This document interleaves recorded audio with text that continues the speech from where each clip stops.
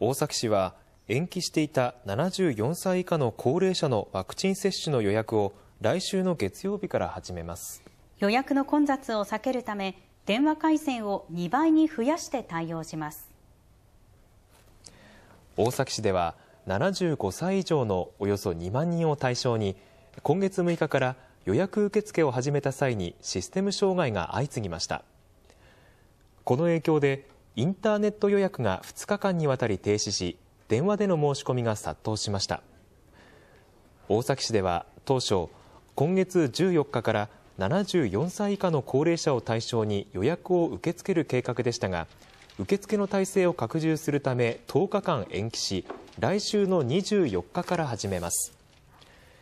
今回は接種券を送る際に地域で時期をずらして予約の集中を避けるほか電話回線を前回の2倍となる20回線に増やして対応します。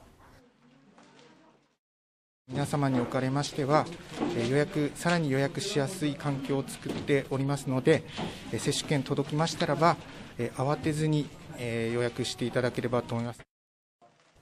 大崎市では74歳以下の対象者およそ2万人に対し今月27日から接種を始める予定です